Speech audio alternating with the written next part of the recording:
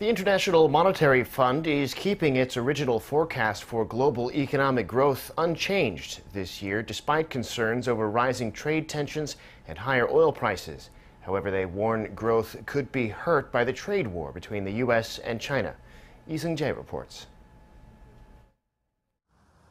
Despite the growing concerns over rising trade tensions and rising oil prices worldwide, the International Monetary Fund has left its global economic growth forecast unchanged at 3.9% for both 2018 and 2019, compared to its previous forecast issued back in April. According to the IMF's chief economist Maury Obstfeld, these projections only take into account tariffs currently in force, so larger actions such as possible automobile tariffs were not included. Despite the growth forecast being kept unchanged, Obstfeld added that growth momentum was slowing. While the IMF rounded down the growth projections to reach the 3.9% forecast in April, for the July forecast, the numbers were rounded up slightly to reach the same figure.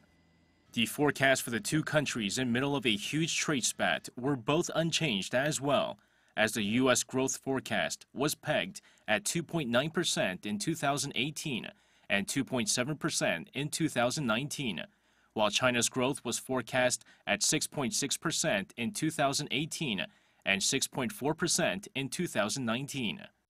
The IMF warns that the escalating trade conflict following the U.S. tariff actions threaten to derail the economic recovery and depress medium-term growth forecasts. Taking into consideration the potential damage from the full brunt of President Trump's tariff threat, combined with the subsequent retaliation from trading partners, the annual global economic output may be reduced by 0.5% from projections for 2020. That translates to close to $500 billion in lost annual output based on IMF projections, which is the equivalent of subtracting an economy the size of Thailand. Lee Seung-jae, Arirang News.